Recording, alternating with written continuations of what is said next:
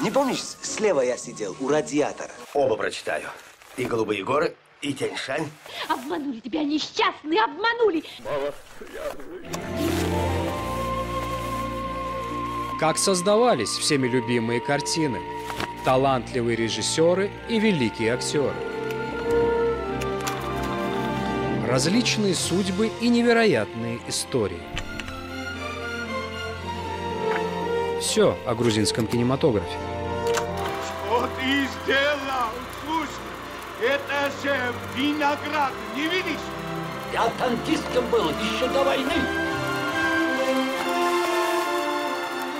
Каждую неделю на канале ПИК в программе «Легенды грузинского кино».